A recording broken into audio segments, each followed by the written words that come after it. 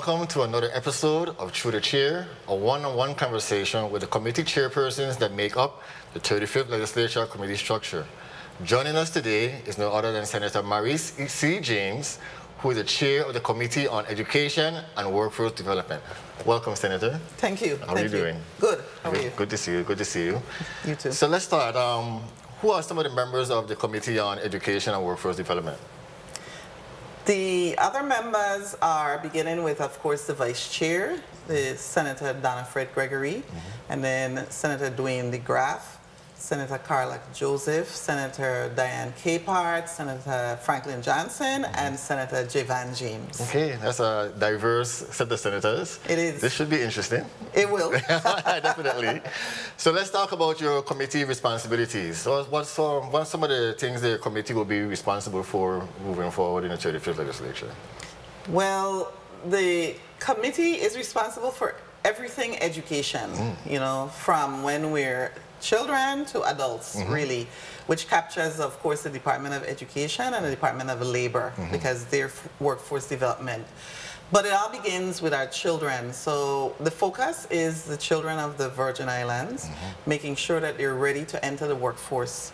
And the, the committee will be dealing with any bills related to teachers, mm-hmm. um, the, of course, children in, in elementary, well, we should have really start with pre-K. Right. Pre-K all the way to college. Right. Because it will address even the University of the Virgin Islands. Mm -hmm. And, um, and then, of course, alternative education with respect to workforce development. That has to do a lot with the training, the labor issues that would arise right. um, with our workforce, anything that has to do with that. So it, it really captures us from um, us as people from the time we're children all the way to when we are ready for our careers, regardless of whether it's college or trade or even the military. Right. Any any of those areas where we then function as adults in, in the in our society. And times are changing right now. We, mm -hmm. We're in a different time. So everything has to change. The way we, we teach our kids, the way they yes. conversate about them. We have social media. So that's um, very important yes. as, as yes, I see it. it. Is. So share your thoughts about um, how the legislature has a structure about education and workforce development. And so we have like different committees that deal with different things. So share your thoughts about how the legislature actually gets the committee of education to, to hold that responsibility.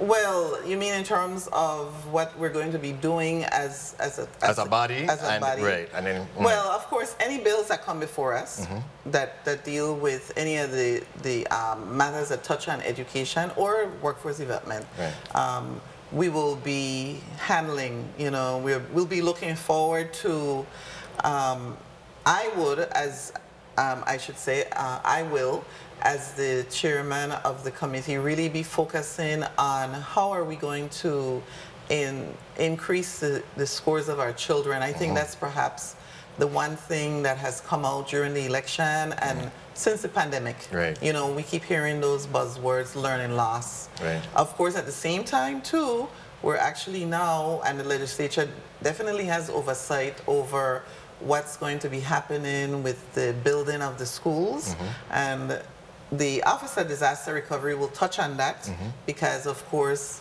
federal they are money, responsible right. for the federal funds coming in. Mm -hmm. But at the end of the day, the Education Committee needs to make sure that the buildings are conducive for learning, yeah. that um, our children are protected, our teachers are also in a place where learning can occur. Right. Um, workforce development, you know, we'll be focusing on one of the big issues really now, um, I think that was touched upon by the governor in his state of the territory was the fact that we don't have the workforce, right. the number mm -hmm. of people.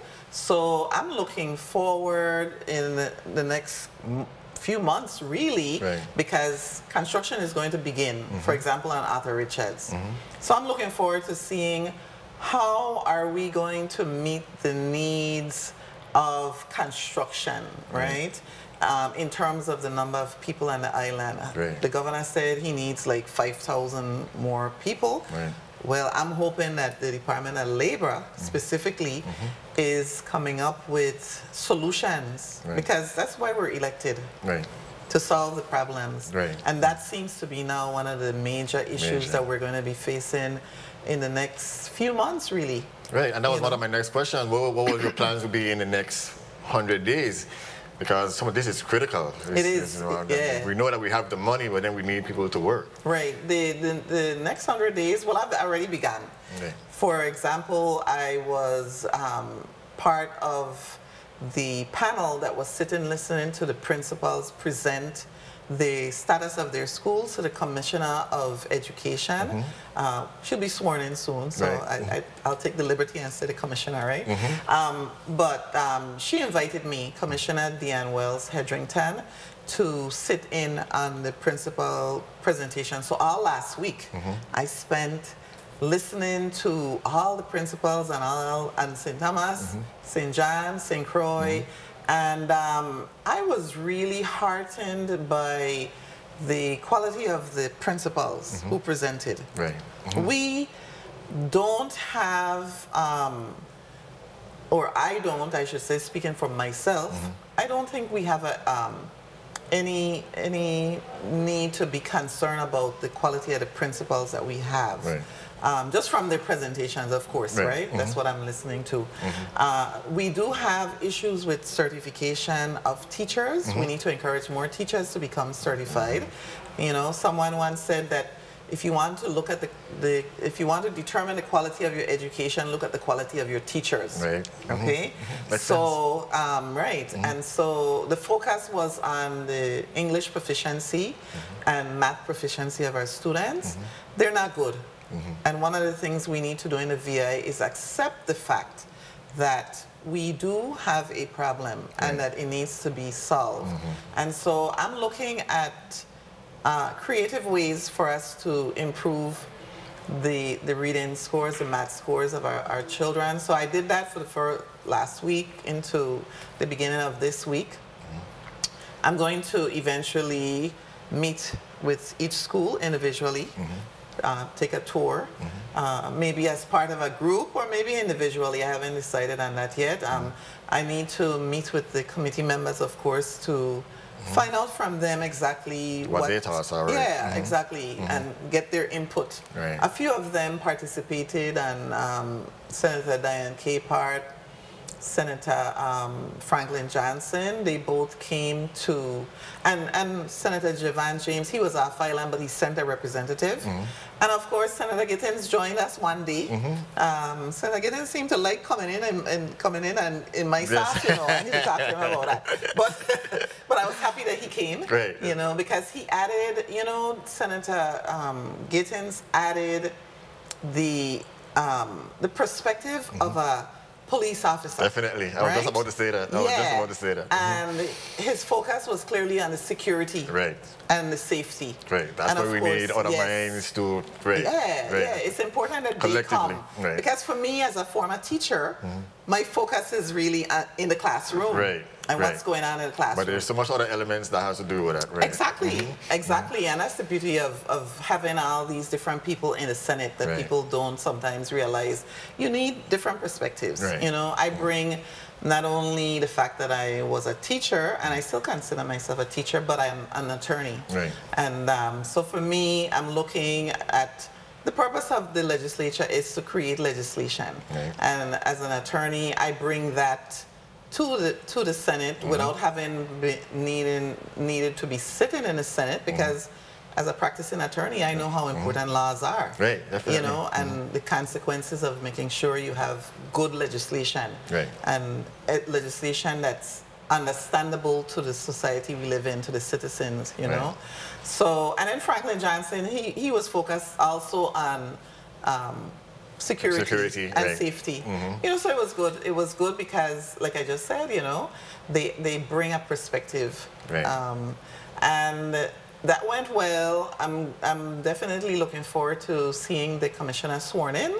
And, but I think she's hit the ground running. Mm-hmm. Right. I also participated in the um, the CZM hearing that they was held a few days ago.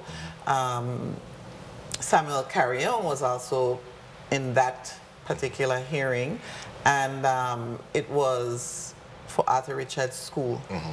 And that's going to break ground Right. in February. I'm happy about that. that. Looking forward to it. Looking and forward to it. Is supposed to be finished by 2025. Okay. So that's important. Right. But while the schools are building, our children still need to learn. Right. Like got to find some place to learn. Right. Right. Right. I'm telling yeah. you.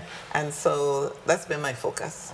Okay, so who, um, I know you mentioned a lot about education. Let's talk more about um, workforce development and Department of Labor, which would be in charge of that. So who, Yeah, um, yeah. what conversations you have with, um, with Department of Labor so far? Well, actually, you know what's great about uh, the Department of Labor, the Commissioner of the Department of Labor, who I, I'm glad you, you brought him up. He participated in the presentations, Right. some of them for education. It makes sense. Right, it does make sense, You know, but also because of his background, if you think about it, he was also in uh, Educator. the in an educator mm-hmm. and a principal or superintendent. He went mm-hmm. through, so he also brings both of those, and. Um, again, the issues with him would be people taking advantage of the programs that he has Right. in, in his department, letting the public know what's available. He also will play a part, a big part, in the workforce Right. uh, problem Right. or issue. How are we going to solve that? And also what what um, laws we would have to follow if we're bringing in people from, let's say, an, another country. Right. Right. right? And I think we did, have we- done before that before? We have We- done that before. I think we have. That's Right. that's one of the other things that I've been doing since coming into the Senate is doing a lot of research on how did we solve these issues before. Right. You know, like for example, the night of the um, the State of the Territory address. Remember, the, the governor honored the two teachers, Right.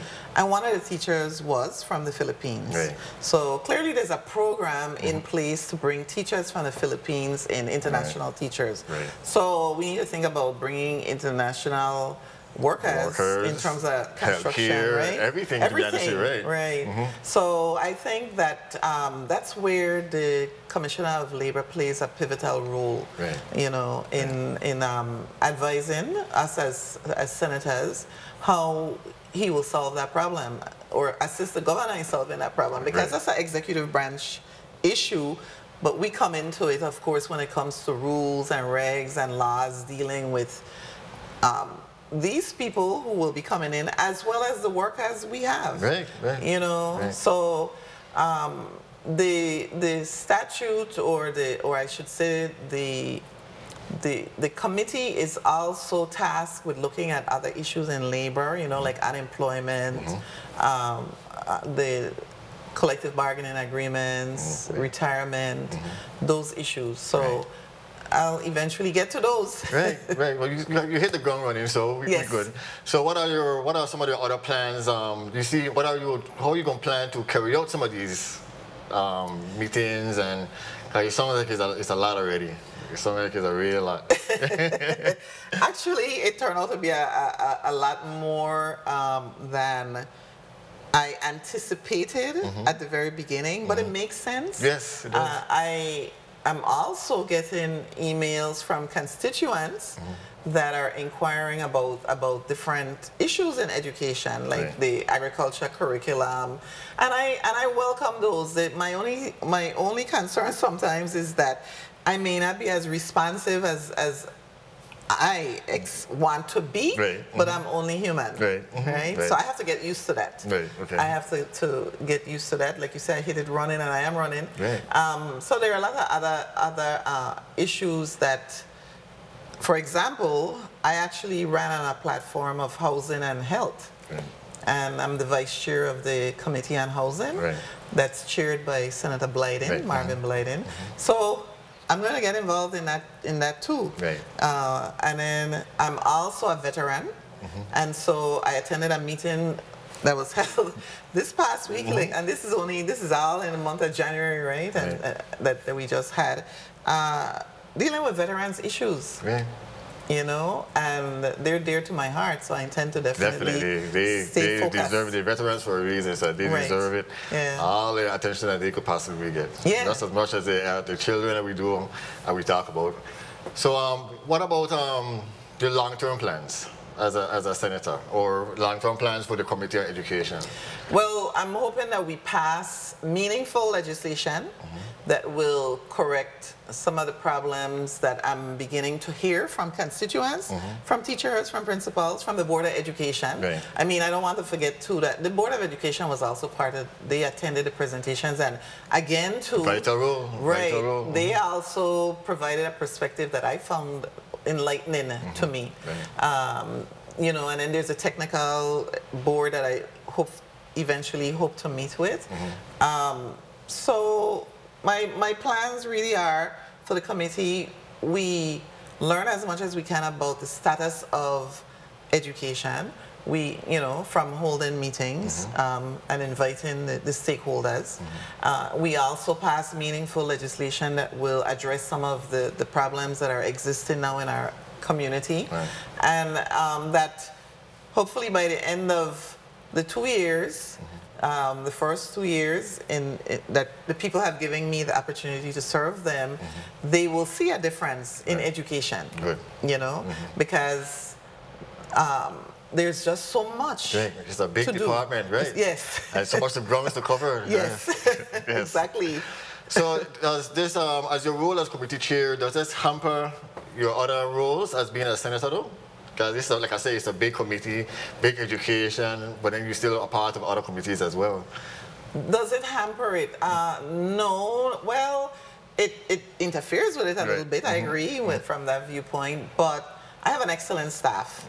You know, right. I was fortunate to, to have people who were in the Senate. Mm -hmm. You know, Mrs. Glory V. Christian Krieger, mm -hmm. Miss Miss Diafra Payne. So they have been guiding me. You yes. know, in the process. And then I have two new two new employees, uh, Mr. Joel Mercado and Miss Juanita Phillip. Mm -hmm. And they bring that outside perspective, never been in before, but right. have a lot of questions like I do. Yes, yes. And um, so I'll find a way to manage it. You know, I have to, one of my advisors said to me, you need to pace yourself, mm-hmm. Marise. You're moving a little too mm -hmm. fast, mm -hmm. you know? So I have to learn to do that. Okay. Yeah, yes. and, and get ready for, I mean, think about it. If there's a hearing on veterans um, in the territory, I'm going to attend. Right. So I need to prepare for that. Right. I need to look at that legislation. Right. I think that's where I have an advantage over all the other senators. Mm -hmm. They, they may call me new, right? right? But um, I consider myself like Michael Jordan mm -hmm. and LeBron James. When mm -hmm. from the time they were rookies, mm -hmm. they were making a difference. That's right. Right. right. Okay. So I, look at myself that way, yes, yes, and part of that is because you you bring skills that you had from before. Right. And um, so I intend to bring my, my experience, my knowledge, you know, my training, my skills as an attorney um, to the legislature and and I look I really look forward to so far I've been really uh, I guess the word would be pleased mm -hmm. with the environment okay. that I've met the people right the central staff on both islands yes um, you know, you begin to see the workings of the legislature. How it works, right? And From behind the scenes. It, uh, yeah, mm -hmm. and people don't realize yes. how important all these other people are mm -hmm. to making this branch of government work. Mm -hmm. So I've, I've, I feel, I feel good, good. about the people I'm working with good. in terms of the central staff. I still have to meet the staff of the individual senators, but right. the central staff I've been already exposed to them. Good, good. And uh, yeah, I feel pretty good about about them helping me become a better senator. Good. Yeah. Good. And that's what that's what we're here for. We want yes. to make sure that you get the best treatment you could possibly get, so you could go out and do the best job you could do to the people of the Virgin Islands. Exactly. Is there anything else that you would like to touch on before we wrap this up? Uh, no, not really. I mean, I'm I'm excited mm -hmm. about my new role. You know, it's never too late to do something new. Right never too late. And so I'm really looking forward to making a difference here in the legislature. And I look forward to working with everyone right. who's a part of this institution. Senator, thank you for joining us on Legit TV for Through the Chair. It has been a pleasure having a conversation with you. Thank you. All the best. Thank you. I appreciate it.